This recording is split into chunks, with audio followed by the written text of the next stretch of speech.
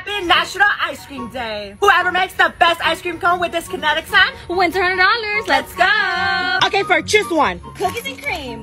Mau, now you choose one. Um, banana. Okay. Choose one. This one. And I want this one. First, I'm adding some banana ice cream. And now I'm adding my strawberry ice cream. Banana again. Boring. Hurry up. I'm going. Now I'm topping it off with a cherry. Boom. I'm ready to start my ice cream cone. First, I'm adding some cookies and cream. Ooh.